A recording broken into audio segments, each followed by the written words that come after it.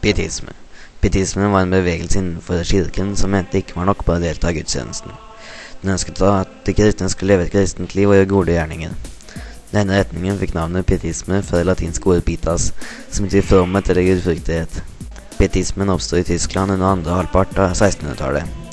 Pietismen kjennetegnes ved at vekten legges på en personlig fromhet og livsførsel fremfor dogmatisk tilslutning til en bestemt lære. Pietismen er blitt kalt den første kristne retning der moral kommer foran lære. Pietisme tar til orde for å gjenopplive Luthers begrep om det allmenne prestedømmet. Det oppfordrer til et aktivt lekfolk som er autoritet til å tolke Bibelen, dens budskap, gjennom et liv i fromhet. Dette ble satt ut i livet gjennom konventikler, misjon, utdanning og fattigdomsomsorg.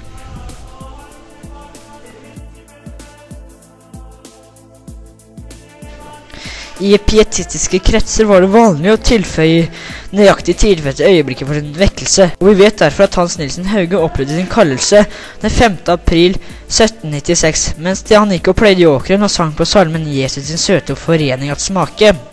Forventningen om Gudsrikets komme og forbredelsen av denne hendelsen er en sentral del av pietistiske forkynnelse. Fra 1735 regnes den såkalte statspietismen til Danmark-Norge under Kristian 6., og den strakk seg fram til hans død i 1746. Om Norge er det blitt sagt at landet ikke, vil, ikke ble virkelig protestantisk før det ble pietistisk.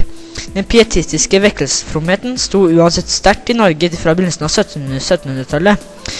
Denne perioden er blitt omtalt som en kontrollert vekkelse av folket, og kommer med uttrykk først og fremst gjennom statlige lover og forordninger.